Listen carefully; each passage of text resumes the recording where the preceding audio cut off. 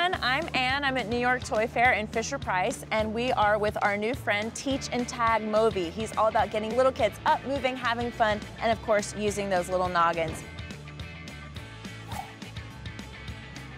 He is so much fun to play with. He also teaches listening skills and the ability to follow directions, which as the mom of a toddler, we all need to know all about that. Okay. Are you ready to have?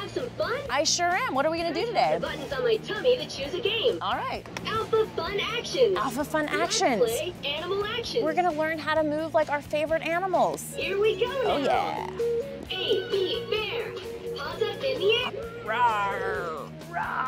He's got 360 degrees of mobility and tons of different movement patterns. He can act like a unicorn, he can waddle like a duck, he can move like an elephant, he can hop like a grasshopper. Check it out. Oh, that's pretty high. Boing, boing. I can interact with him with the buttons on the top of his headphones. Think and move shape. I can learn how to make a shape with my body. And now I'm gonna move in the shape of a triangle, turn, and then I'm gonna finish it out and he's gonna ask me a question about it. Quiz time. What shape am I? When I draw a pine tree, it's this shape.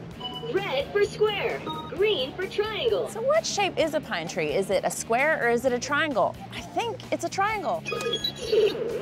Awesome. Yes, I can also play red light, green light. Green light,